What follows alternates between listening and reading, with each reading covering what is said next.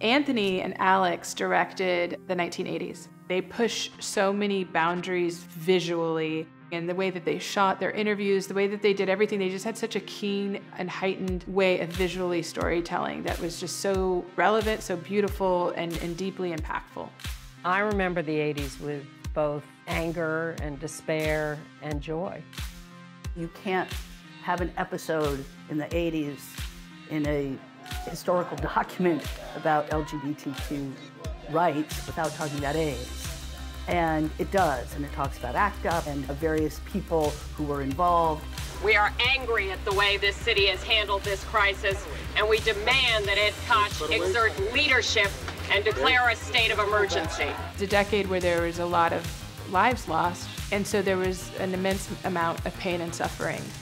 We also wanted to profile and look at some of the positive things that were happening. There was an explosive arts movement, you know, in the 1980s. Also, we began to see the role of the family uh, being created and uh, chosen families. It's you know your family and who you feel supported and loved by, especially with the Black trans movement of today and the emphasis that we finally are putting on those folks. I think that you can kind of see it start to form in a real big way in the 1980s.